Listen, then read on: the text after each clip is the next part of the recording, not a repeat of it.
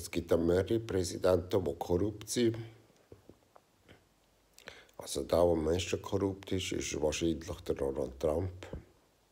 Der hat Fluggesellschaften gehabt, Spielcasino, Hotels, alles sehr gross, in Milliardenhöhe.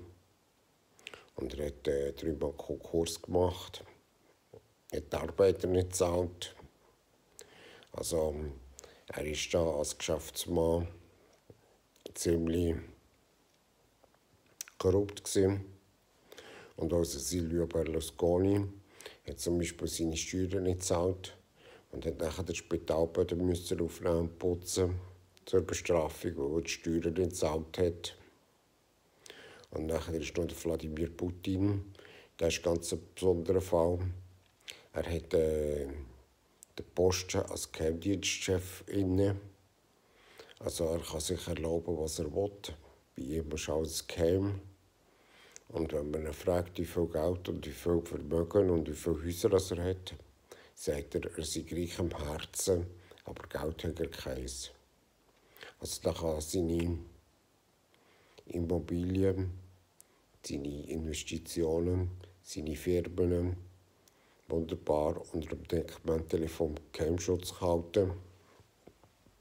Aber ich habe schon gehört, dass das ganze Gasgeschäft von Wladimir Putin in Russland über ihn laufe. Und dann haben wir noch eine andere, die etwas zu sagen hat. Das ist Angela Merkel, Dr. Angela Merkel. Sie ist sozial, hilfsbereit, tut den Flüchtlingen helfen, tut sie aufnehmen, schaut, dass sie das Bett haben, dass sie das Essen haben. Und äh, sie sagt, wir schaffen das schon. Und da hat sie recht. Es wir einfach auch ein bisschen unterdurch. Die, die arbeiten, die, die Asyl beantragt haben und äh, die, die Hartz IV beziehen. Es wird also für viele ein bisschen knapp unterdurch.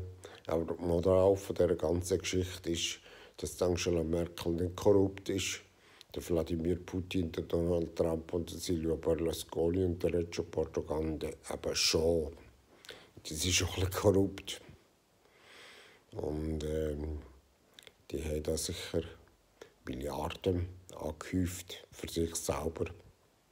Aber wenn das natürlich nicht angeht, dass sie die Steuern zahlen müssen,